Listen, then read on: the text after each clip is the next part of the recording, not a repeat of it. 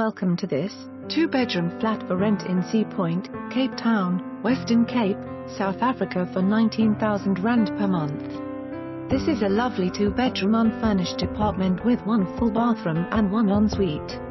The kitchen is open plan to the living and dining room and offers slivers of sea view. The apartment also has a garage in this secure block. Wi-Fi and DSTV for tenant activation and account. Please note there are no pets allowed. For more information on this property or to arrange a viewing please contact us.